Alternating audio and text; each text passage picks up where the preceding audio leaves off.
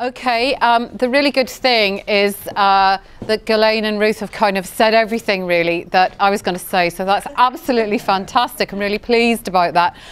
I'm uh, just going to, I'm going to probably talk in a slightly different way really um, to the others in the sense that I think what I do really is kind of in the interstitial um, between research, the research base, and the arts. It's not specifically always about ICT in the arts, therefore, um, either. But I work um, with Creative Works London, and I also am a director of a uh, an organisation called the Culture Capital Exchange, and we're going to talk a little bit about, as it were, this kind of this this this space, this kind of interstitial space almost that is around, I suppose, the facilitation of um, collaboration and bringing people together that is sometimes given, I think, a really unfortunate um, shorthand name of knowledge exchange. Um,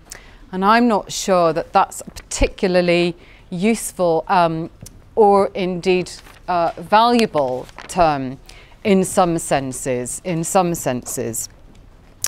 Um, one of the things that I want to say really I think came from this notion I think that that Ghislaine raised this notion about sort of um, people uh, being observers as it were within projects. And so one of the things that I'm going to say today is that I feel that so often when you're kind of really immersed in these kinds of roles it is very hard to stand back and, and almost to come to today to do um, the kinds of things that I think are required to do, the kinds of the questionings actually about what we do, what works, etc. You get very immersed, um, and I think it's really good, Camille, to have this space today. I think for so many of us to actually think um, uh, and pull ourselves kind of back almost a little bit from the day to day um, of what we do. So I thought I'd maybe sort of say just a few words, a little bit of kind of the groundwork, really, the background as sort of a preamble, really, to this Creative Works London project, which I will talk about, obviously. Um, and a few very ad hoc, very messy, very um, kind of non-logical, perhaps, uh, reflections on uh, collaborative um, collaborations and, and um, cross-disciplinary stuff and my mic's gone into a weird uh, place. So uh, I don't know if this is going to affect things. Okay, um, my own background, I, I, I sort of had a paragraph there that I took out this morning, which was sort of about myself. Um, so I'll say this very quickly, but my own background really, and I know Ghislaine and Ruth for a very long time, is as a uh, curator and producer in the digital art space in the UK. I used to run Lighthouse in Brighton, and prior to that, spent about nine years um, running the cultural programs in another lighthouse in Wolverhampton, sort of a similar space. And then there was this thing called LCACE, London Centre for Arts and Cultural um, Exchange, or Enterprise, I think as it was first called, that was developed, as you'll see, uh, nine years ago, get getting on for a decade ago now. Um, and uh, I, I, came to work for this, this institute, this, this, this sort of kind of nascent little body. Um, and I was very attracted because I'd always, in my practice, I suppose, as a curator, um, worked really closely with um, the research base in all sorts of kind of different different ways over the previous decade or so. So I was quite interested in this notion really of bringing research and the arts and cultural sector together because I think because I thought, well, everybody's doing it. Why on earth would you need a kind of a, a special um, kind of space uh, to, to do this in? And, and, um, and I quickly kind of realized that um, although many people informally and quietly and probably in many instances quite under the radar we're developing all sorts of really really interesting collaborations. And I think you know certainly in the early late parts of the from the mid 90s on um, I think you know really the, the sort of very common practice I think for people to be working between the arts um, and institutions vis-a-vis -vis the, the kind of the, the context that we're talking specifically here about today around the arts and technology. Um, so we set up this this this entity. Um, it was originally housed in King's College in London, and um, the purpose of it, as I say, was really to encourage um, or to create kind of spaces for researchers um, and the arts and cultural sector to come uh, together. And I think um, you know, there was no real, the, the, really interesting thing was there was no mandate, there was kind of no expectation, um, really, apart from the fact that, you know, I think universities at that point thought, well, there's this thing called knowledge transfer, it makes a lot of money. Um, hey, you know, maybe we could do the same with the arts and cultural sector if we work with them. Um, and we had to sort of disabuse them of that notion quite sort of sharpishly because we said, well, if you think this is going to be a cash cow, it's, it, it, it ain't going to happen really because um, the arts and cultural sector, as we still know it, um, and as it certainly was then, tends not to have you know, vast amounts of money to throw into academic institutions. Um, so over the course, we ran then for about six years um, as this space. Um, we, we, I mean, I, I, think what we tried to do very, very early on was to just think of the space as an opportunity to um, do the kinds of things that perhaps would bring people together in, in um, you know, sort of new and maybe possibly quite unusual ways, um, although all of these things are quite small. You know, they're all incremental, tiny little things when you when you look when you look back. Um, so it was a network of uh, originally seven universities, and and, and it grew um, up until the point a couple of years back where we became independent of King's College for a, a whole raft of reasons, um, largely to do with um, funding and government changes and all sorts of stuff, which I won't bore you all with today, but if you are interested in the real backstory, uh, you know, we can talk about that. And we set up as the Culture Capital Exchange um, and essentially really continuing to do the same work that we had done before, but I suppose in a slightly freer way um, and in a way where we weren't kind of constrained and limited by things like um, weird finance departments in universities, which mean that, you know, if you work with somebody, they don't get paid for six months or whatever it is, stuff like that. I shouldn't say things like this on the record. Maybe we can edit that out. And I'm so sorry if there's any of you here are vice um, uh, chancellors from universities, but, you know, we have the pain of this. Um, and uh, we simultaneously, um, whilst we'd been working, I think, to sort of uh, really think about what the next iteration almost of working together and collaboration might look like, um, we heard the kind of rumblings that the AHRC, with whom we'd been working quite extensively over the previous sort of six or seven years and inviting them in and getting them to be part of these conversations about collaboration and about knowledge exchange about impact a lot, really, really a lot um, we're at that point also then deciding to scale up. Um, again, we can sort of talk about all, all, these things, scale up their activities, and instead of sort of giving out smaller grants, the AHRC had decided that it wanted to put the resources that previously would have gone into small collaborative pots into for um, what they called uh, and what are called knowledge exchange hubs in the UK.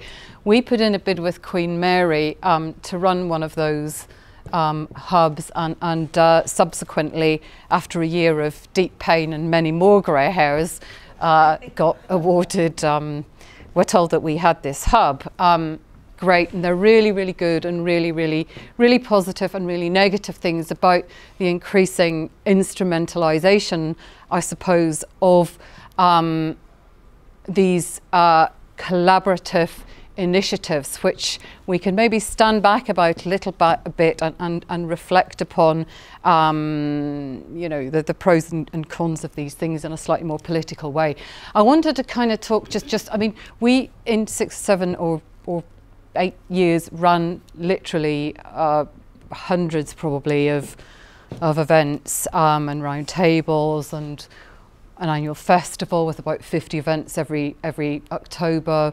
Um, and, and, you know, it, it's sort of a real programming organisation, um, very similarly in a way to the work that um, one would expect a, an arts uh, organisation to run.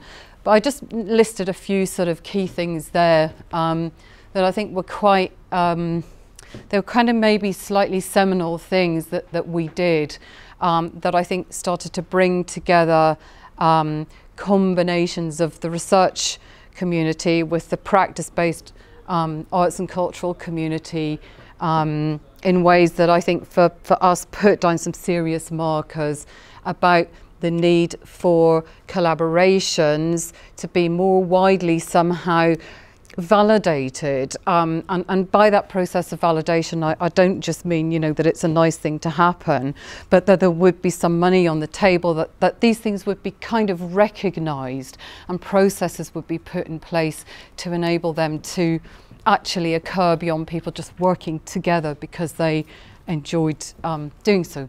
So anyway, you know, things like Beyond the Academy Researchers exhibition at Tate was, was an important marker. Pre previous to that, we'd done an event um, to, to really kickstart the whole process called the Art of Partnerships. And that brought people screaming and uh, kind of dragging their heels a bit from the arts and the academy, um, kind of in a curious way to explore terrain um, as well as a sort of a slightly, well, we're not quite sure why we're here, but we feel it's a good thing anyway.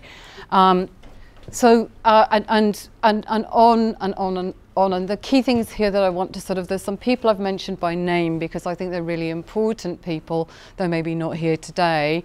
Um, but one of the things that was very, very interesting as well was sort of right back, this is pre-Nesta, this is pre the digital uh, R&D fund, for example.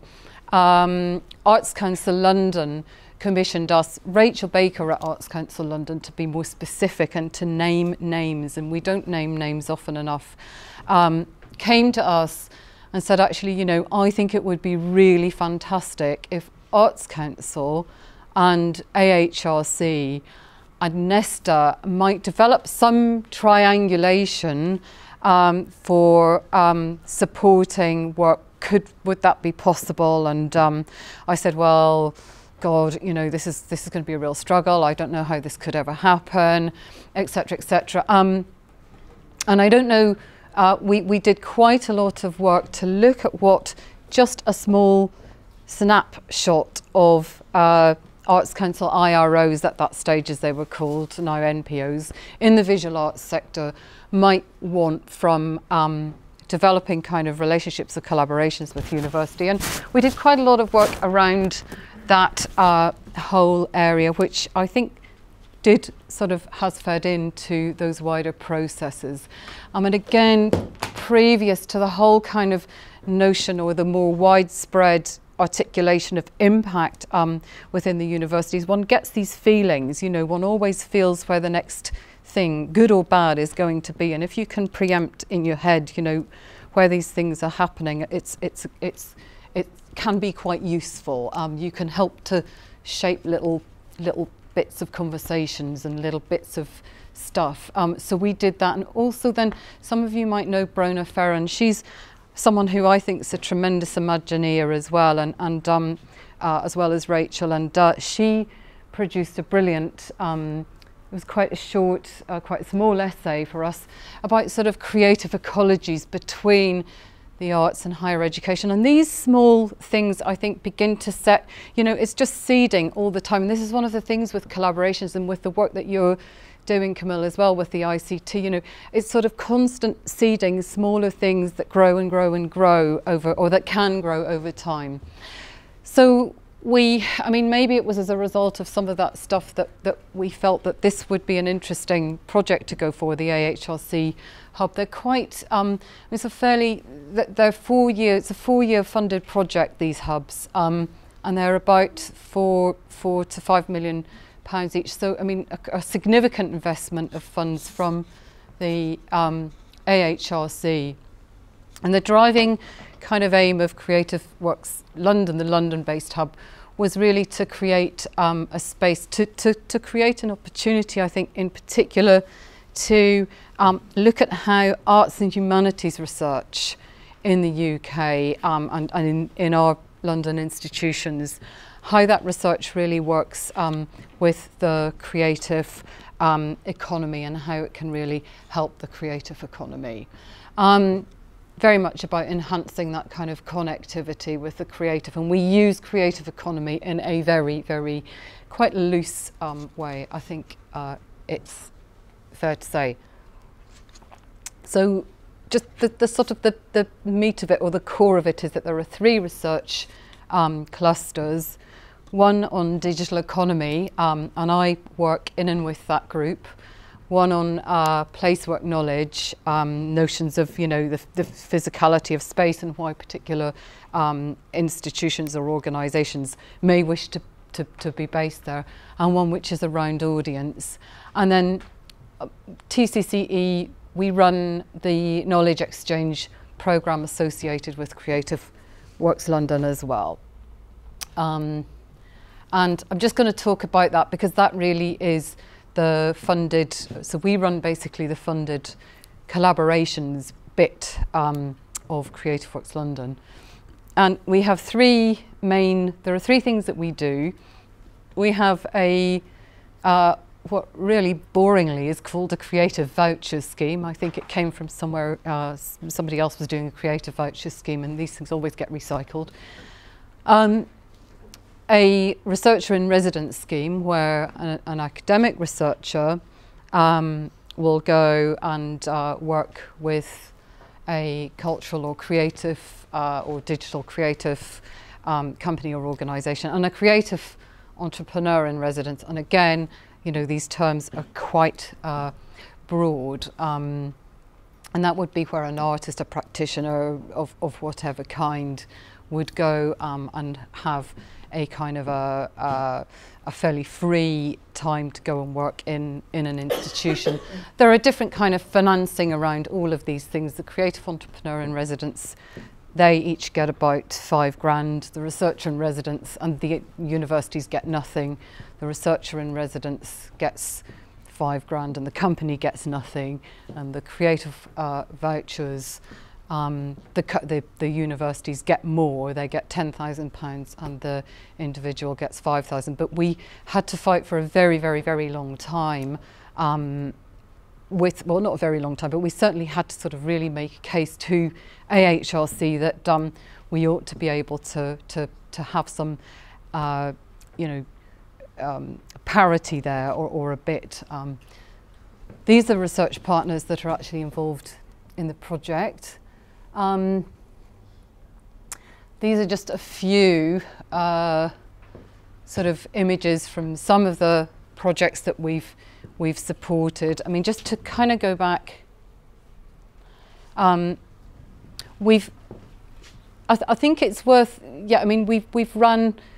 We work around. We work quite thematically. So with the vouchers round, I mean, we've had five. We, we're now in the the throes in just uh, a 15, 16 month period now of having the sixth um, round. So we've, we've um, worked onto these, these are the themes, so mobility and mobile culture, co-production and co-creation, notions of locality. We had an open round where people could pitch sort of any project ideas. And, and more lately, um, we, uh, the last round that um, I run this was on archives um, and digitisation.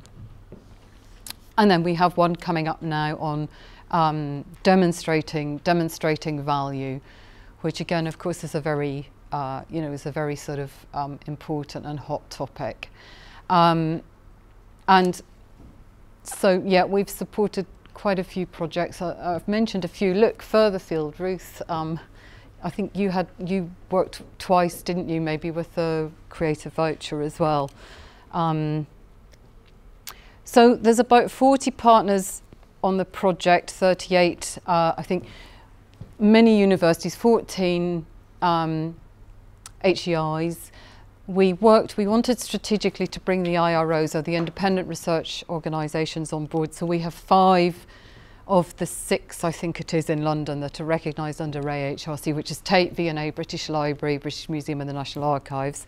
And then quite a raft of other cultural bodies, very you know significant players, obviously like the Arts Council and the BFI, um, uh, and and also you know Tech City Investment Organisation via Chris Moore, who was then seconded to that particular project um, and who's you know sort of still heavily involved in the project, came on, um, as did players like IBM, and then sort of smaller organisations as well, like um, Furtherfield and Playgen, um, and some museums too.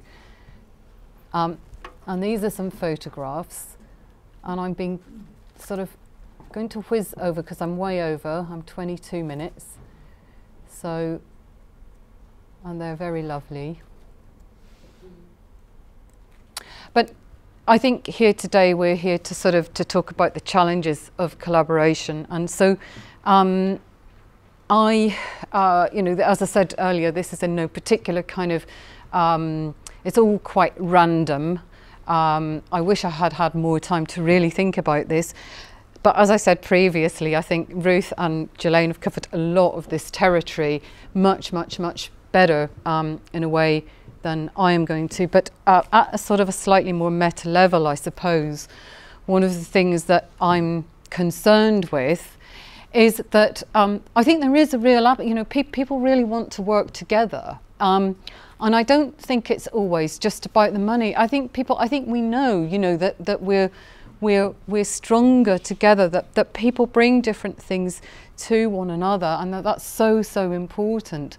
I mean, in from, from, from my perspective, I think what's a real challenge and what we have to be thinking about a lot is how we can best kind of um, narrativize these processes um, and support them. You know, how do we make bodies um, in the UK, funding bodies, government bodies, how do we create an awareness of the need, the benefits, the values of um, collaboration um, we have to, you know, these are cases that are still not fully um, made. It's really good. In fact, I think um, uh, the whole um, Horizon 2020 initiatives like Creative Europe, I think, kind of give hope actually, and it's important for the UK to start to think more strategically about developing European um, relationships because um, probably that's where the money is going to be. Oops, uh,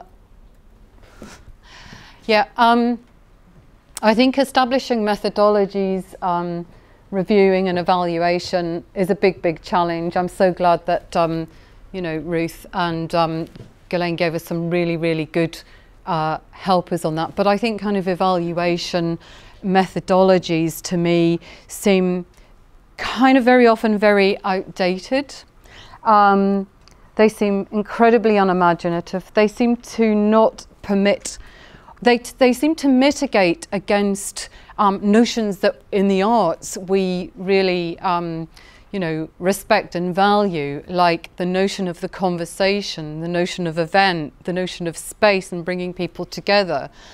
Um, and they look instead to, um, you know, to, to, to logics and to the creation of, of, of a kind of a logic for things. And I actually think that policymakers are not inherently logical beings.